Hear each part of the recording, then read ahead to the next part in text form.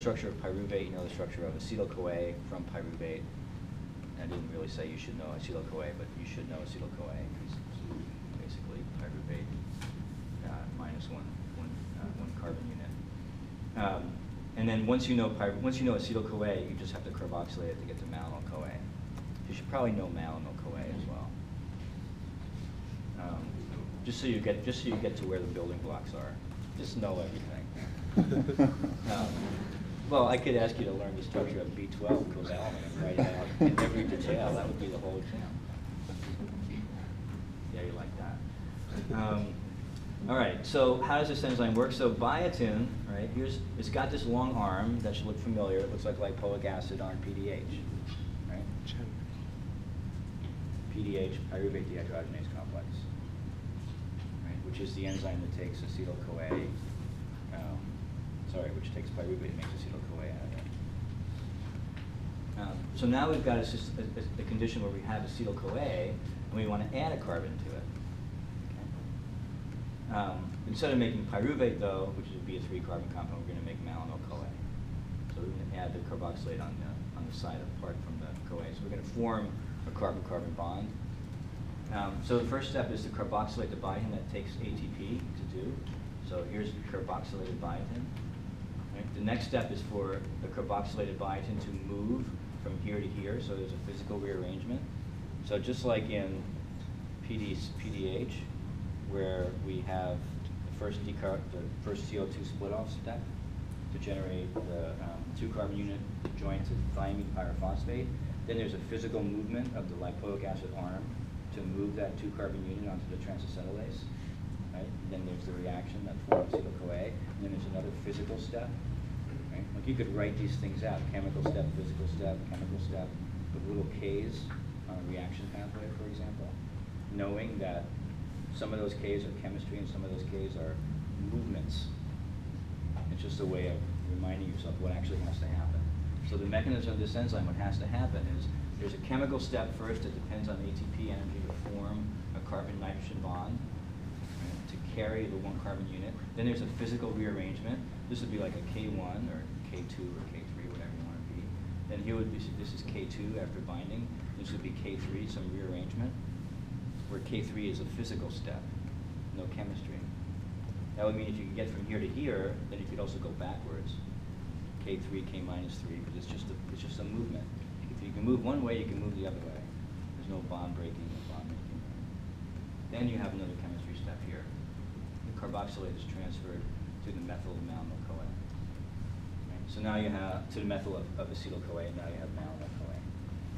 And you have to have malonyl-CoA because that's how, because, because malonyl-CoA and acetyl-CoA together are the two substrates for fatty acid synthase, which is the enormous enzyme that actually builds up the fatty acid chains. What two? Malonyl? Malonyl-CoA and acetyl-CoA. So you- you're already using acetyl-CoA here, right? So you use one acetyl-CoA to make malonyl-CoA, and then the subsequent steps on, on the fatty acid enzyme are going to be malonyl-CoA plus acetyl-CoA, add malonyl-CoA plus acetyl-CoA, keep on doing that. So the repeating four-step sequence for fatty acid biosynthesis is malonyl group, acetyl group. We're going to get to understanding how they're attached to this fatty acid synthase enzyme, but for now, we just note that they're both, there's two thioester linkages, one of which is adding, has a malonyl group, and another one has an acetyl group. Okay? So this is a decarboxylation, right? Here to here to here, right? So what's basically happened is that this CO2 in green is split off, and that this carbon-carbon bond is formed to make this right here, right? It's here. So now we have a four-carbon unit where there used to be a two-carbon unit, and the CO2 got left, right? So three plus two equals one plus four. Right? So we're splitting off a CO2. So, and, and furthermore, it's the same CO2 that just got added by acetyl-CoA carboxylase in the last slide.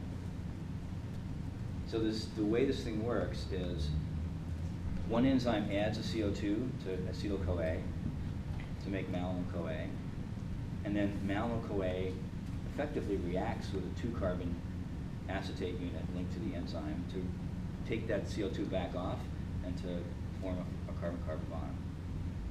Right? But because we're splitting off CO2 here, this reaction becomes a lot more favorable, right? because this is very low energy. CO2 is a very low energy compound. All right, so we're going to see how this how this fits together, right? But but two plus three goes to four, one plus four, and then there's a reduction, a dehydration, and a reduction. Okay, to go from a keto group here to sorry keto group here to an alcohol, an alkene, and a methylene. So does that look familiar? Uh, it should look familiar. It's the opposite of what we just talked about, beta oxidation. Instead of going from a keto to a methylene, we just went from, sorry, so instead of going from a methylene to a keto, we just went from a keto group to a methylene. And we used up an NADPH, so here's our pentose phosphate pathway, right, producing an NADPH, and this is going on in the cytoplasm. Whereas beta oxidation is going on in the mitochondria. Okay, so we're gonna, this, this, this, this, it's, these slides get a bit repetitive, because I'm just gonna show you this stuff again and again. Fatty acid synthases are large multi-subunit enzymes in mammals. The enzyme is a dimer. This is mammalian fatty acid synthase one. This is a fungal enzyme. This, the tertiary organization is a bit different. Right? We're not going to be concerned about the distinctions between species, different species on these enzymes. The mammalian enzyme is a dimer, and each, each of the two monomers has seven active sites in it. Now in E. coli, it turns out that the seven activities are actually on separate diffusible proteins, but in mammals, this thing is channeled. There's channeling on the surface of one enzyme, and so the whole thing goes on on one enzyme surface. Okay, so that's really the one we're going to be talking about, the mammalian one. All right, and you, so you see that the subunits and the different activities have different names. They have KS, MAT, DAGR, so all these different acronyms for things, which are, um, they look more complicated than they really are once you actually see how they're associated with the activities. Um, there's a little bit of a complication. Um, MAT is um, really a combination of a malonyl transfer and an acetyl transfer, two carbon, three carbons. Um, and so they get kind of lumped together into one subunit, but sometimes you'll see MT and AT as separate. But this MAT is just doing what the two of those do as separate pieces. So an acetyl group and a malonyl group are both linked to the enzyme. And in one four-step sequence here, CO2 is split off, right? And um,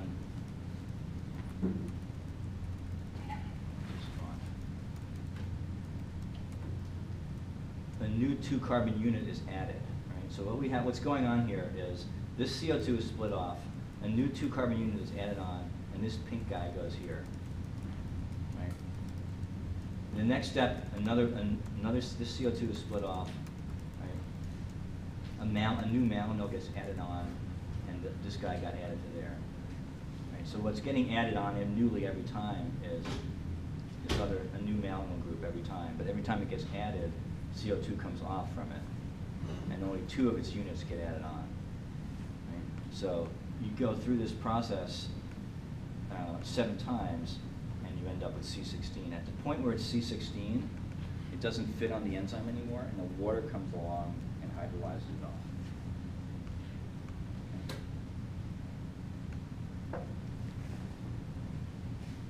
This will be easier on another slide.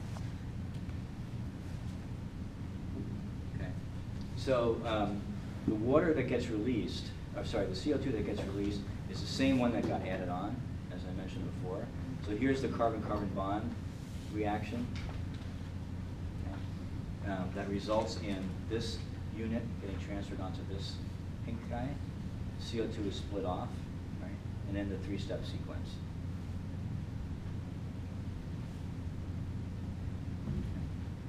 So CO2 releases the same carbon that's added by acetyl-CoA carboxylase right, to form the malonate. Um, Thermodynamical, fa- thermodynamic favorability is, is put in because we are decarboxylating here. And the ATP that's provided and going, that's used in going to this step is what's, basically what's used to be able to help this work by being able to decarboxylate. So you have to carboxylate first, use up ATP there. Look at the two-step, the, the carboxylase enzyme and then this one, the ATP is getting used in the first one to enable the, um, the capacity for decarboxylation in the second one.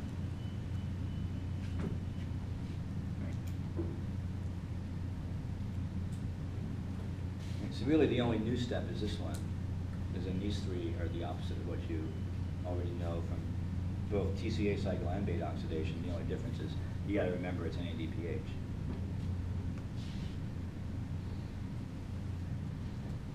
So here are the, here are the subunits. Um, notice that here AT and MT are written separately, but they could be written together, it doesn't matter.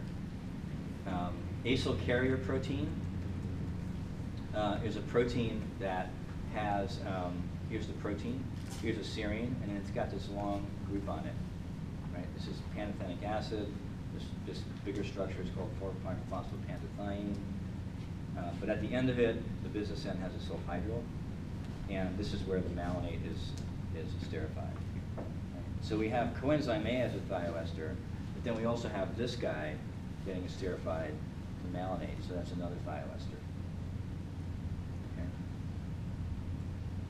So that's carrying a pro, that's carrying um, a malonyl group, the ACP is.